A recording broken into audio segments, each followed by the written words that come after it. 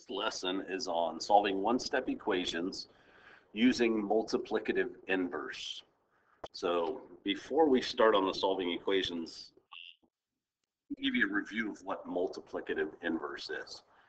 So multiplicative inverse says if you take a fraction, any fraction, and multiply it times its reciprocal, which is the fraction flipped over, it will always be equal to 1. So remember when you multiply fractions, you multiply straight across. So 3 times 2 is 6, and 3 times 2 is 6, and that's equal to 1. So this works for any fraction. So 1 half times its reciprocal, 2 over 1, equals 2 over 2, which equals 1. Just make sure that if you have negatives involved, so if you had uh, negative 2 thirds, the reciprocal of negative 2 thirds is negative 3 halves. So don't change the signs. And remember, a negative times a negative is a positive. So you would get 6 over 6, which equals 1. So that's the multiplicative inverse. So let's see how we can use that with solving equations. All right, so I have my screen split up into a work and a check because with any equations, you can always check your work by plugging in the answer you get and seeing if it checks out. So to solve an equation, I'm trying to get the variable by itself. So I'm trying to get rid of the one third here. So I'm going to use multiplicative inverse to do that. So I'm going to multiply both sides of this equation by 3 over 1, which is the reciprocal of 1 third. So I put the 12 over 1. Over here, you would get 3 over 3, which is 1. So these just cancel out because 1x is the same thing as just x.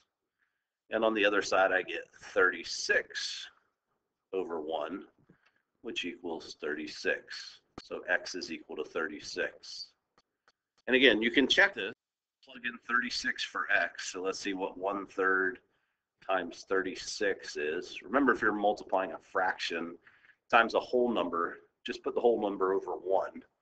Then if I multiply straight across, I get 36 over 3, which is equal to 12, which is what I wanted it to be equal to. So I know this is the correct answer over here, that x equals 36. Okay, so when you have a fraction multiplied times the variable, that's when you can use this trick of multiplicative inverse. So fraction times the variable. So let's look, I have another example of this. So here we have a fraction times the variable. So negative 2 thirds times some number equals 12. And we're trying to figure out what that number is. So to get the x by itself, we can multiply both sides by the negative, I mean by the reciprocal of negative 2 thirds, which would be negative 3 halves. So again, the reciprocal, you just flip it over. If it's negative, you keep the negative. Don't change the sign. So when you multiply that, you're going to get 6 over 6, which is just 1. So that canceled this out, essentially, because 1x is the same thing as x. Whatever I do to one side of the equation, I have to do the same thing to the other side. So I'm going to multiply this side by negative 3 halves. I just put the 12 over 1. Multiply straight across. Remember, you can cross simplify when you're multiplying fractions. So I could simplify this to 1 and 6. Otherwise, I have to simplify at the end.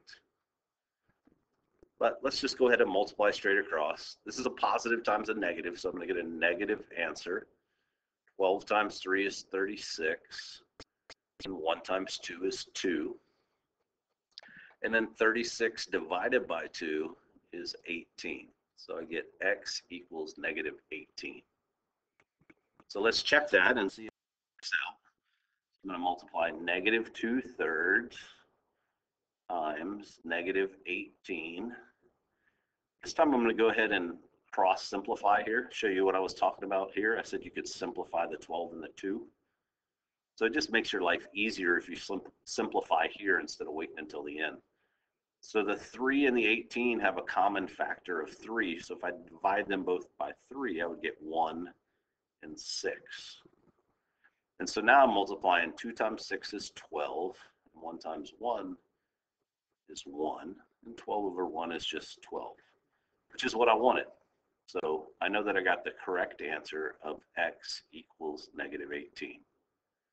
So again, just in summary, when you have a fraction times the variable, you can get rid of that fraction by multiplying by its reciprocal.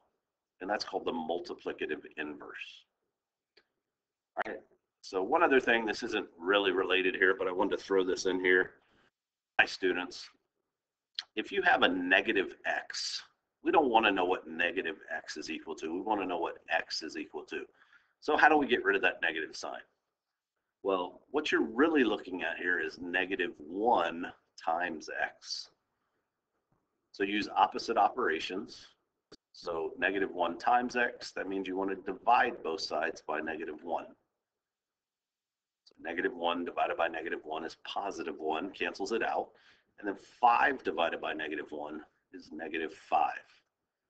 So you might say, well, couldn't I just move the negative sign over here? And the answer basically is yes. All right, so x equals negative 5. So let's check that.